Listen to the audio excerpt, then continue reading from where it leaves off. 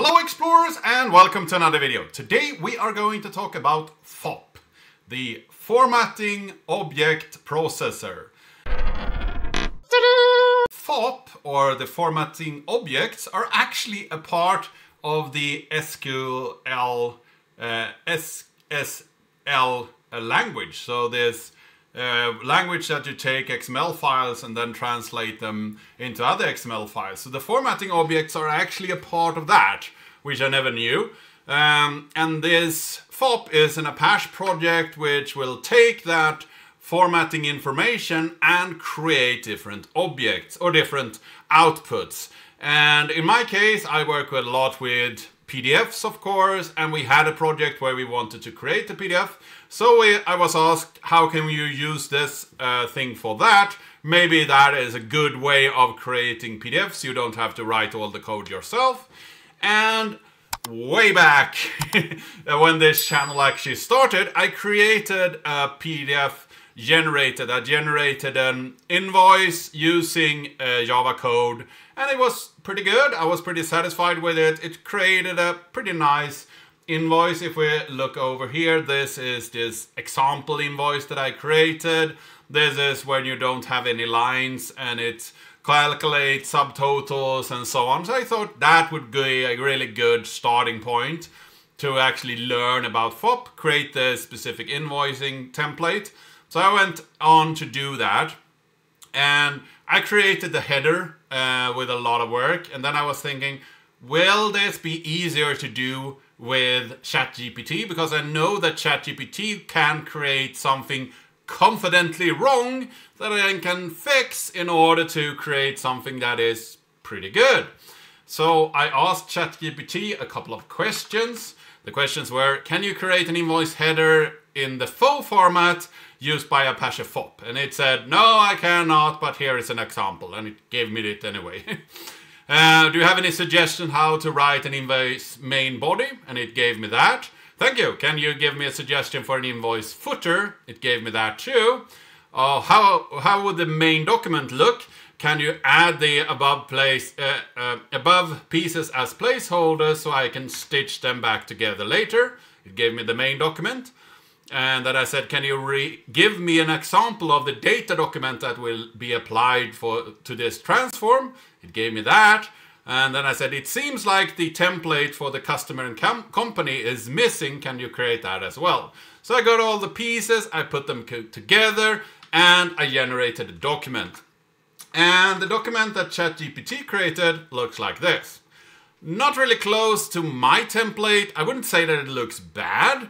It's a little bit inconsistent. You have a lot of different fonts and so on, um, font sizes, but it doesn't look that bad. You can take this, of course, and then create something that is actually usable.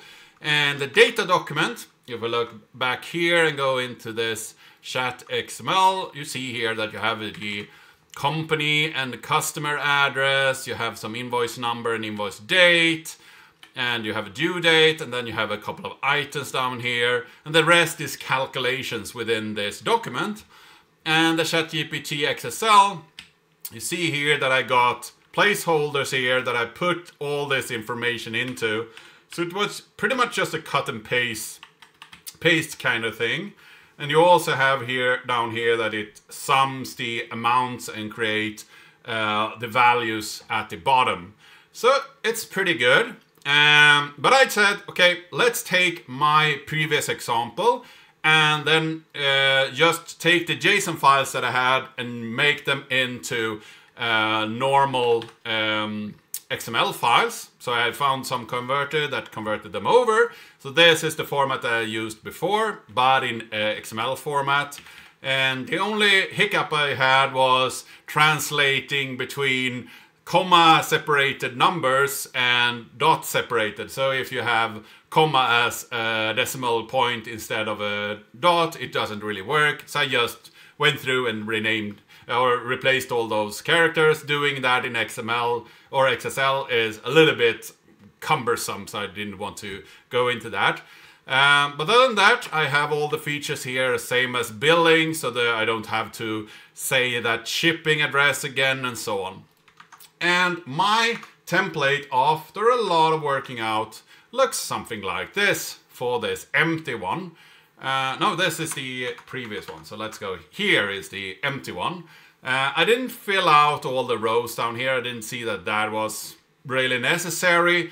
Uh, but other than that, it looks very similar to the old one. Uh, they are a little bit different in how they are uh, placed, but more or less the same kind of uh, invoice.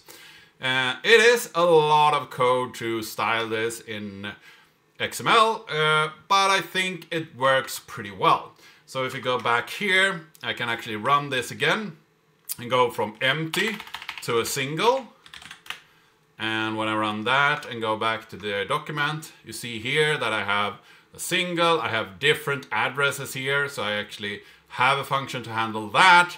And I get one line, and it actually calculates both the subtotal and the VAT. And I also have a bunch of notes here that works fine. We could go to the next example I have, a few. Uh, so let's run that. So I have a couple of lines. You see here are three lines. It actually calculates those together gives me the VAT amount and so on. So that works fine as well. And the last, of course, you have to have lots. That's always the four different things you need to check. Uh, none, the empty one, or the one or few or a lot. And if we go to the lot, you see here I have multiple pages of this. And I also, at the end here, had some value that I could say that keep this information together so you don't split it over two pages and then it will count everything together and so on. So let's go through my little invoicing here. Uh, so first off, at the beginning here, you have to set the paper size. So you have a layout master up here and you say that this is the main content. It has a page width and this is just A4, the sizes of an A4 page and then you have the uh, margin and a top and right margin. So I wanted to have 10 uh, millimeters in, at the top and 20 millimeters at the margins. And you could use points here as well and other measurements, everything that you can use in CSS pretty much. But here you can have millimeters, which is pretty nice because the, the document that we are working with is PDF and that's a print document. So you actually want to have the measurements how it would look on the page. Um, so next up we have the page sequence here, uh, master reference content. And here I have, and everything here is actually in a style sheet as well with the template slash. So I can actually use it uh, going down here um, for different tasks.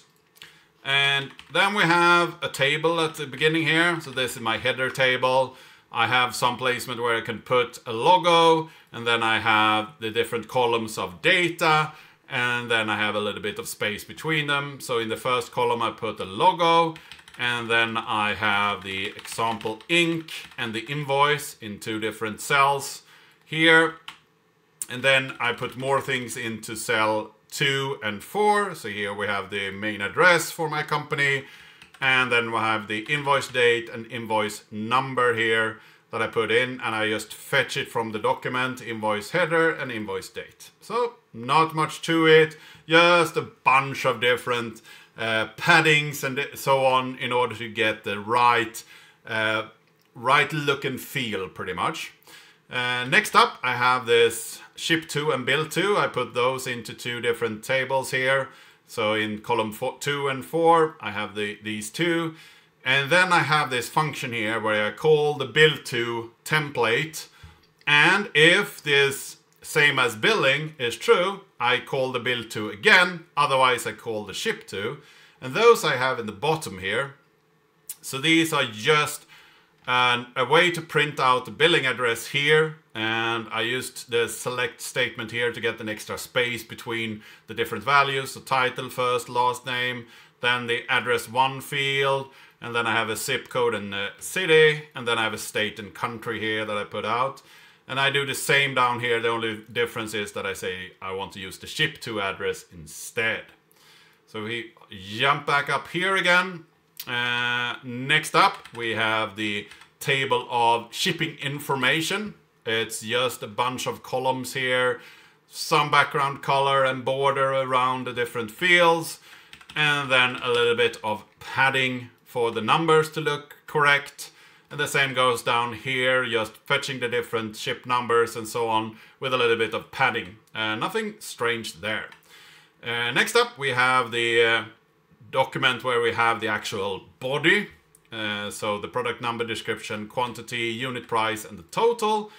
And if we don't have any products at all, so if there is no product ID, uh, so no items available, then I skip this. Otherwise, I will go through here and iterate over the invoice rows and the uh, background. I want that to be different between uh, intermediate between odd and even lines. So I actually do a position mod 2 equal to 0 and then I get the a little bit darker lines and the, the uh, lighter lines so I could uh, switch between those.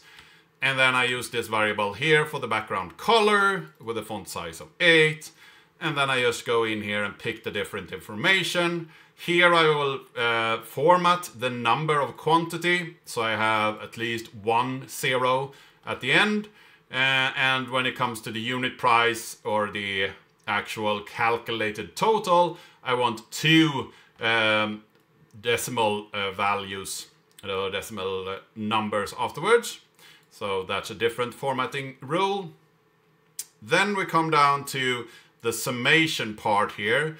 And I started by creating a new block with a little bit of space before. And I said that this will not be broken up avoid breaking this up over pages, keep it in one page.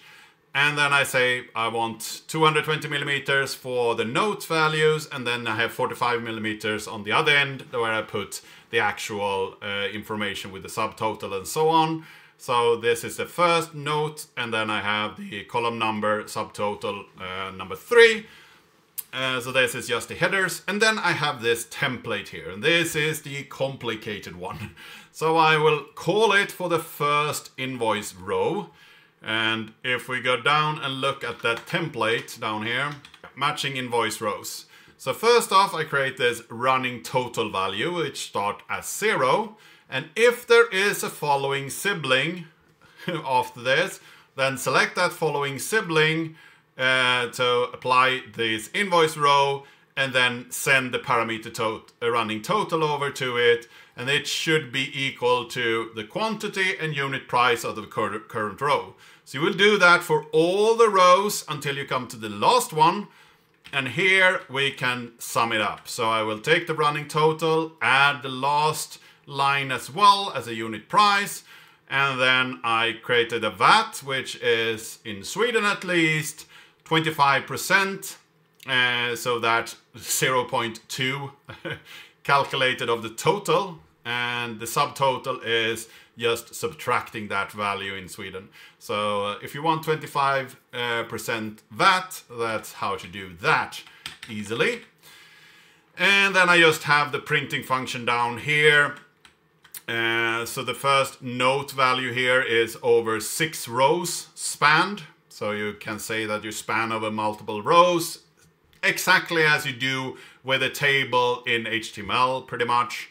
And then I have this column here where I look at the product ID. If that is available, then I will print out the actual number in SEK, uh, the subtotal. Otherwise, I just print out that we don't have any, um, any value.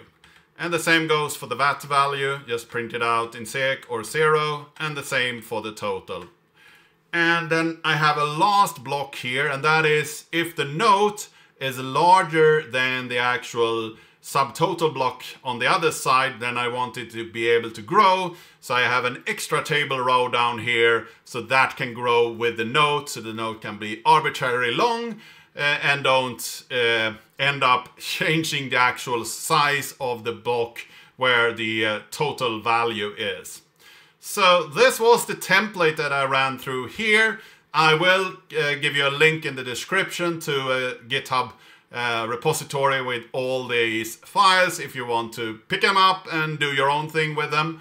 Uh, in order to run it, you run it with FOP. And FOP is something that you can compile yourself. You just download from the Apache FOP uh, page. If you compile it yourself, you will in the directory of uh, FOP.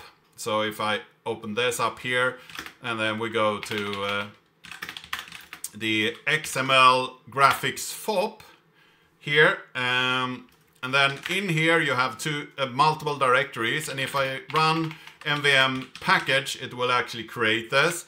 And then in the FOP directory, there is a binary, either the just FOP binary or the FOP.bat the FOP.cmd.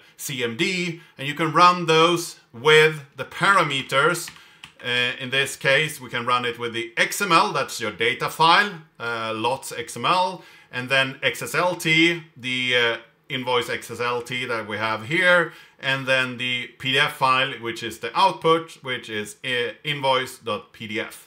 You can also create an XML file with just a bunch of these FO objects that don't really have an XSLT um, translation, just the actual uh, document in a static form. Then you can run it with dash FO instead to a PDF.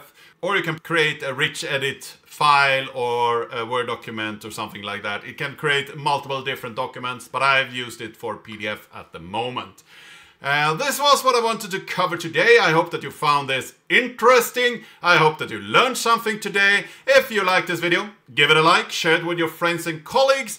If you haven't subscribed yet, please do that. If you have any comments or suggestions, leave them down in the comment section down below. And I really hope to see you in the next video.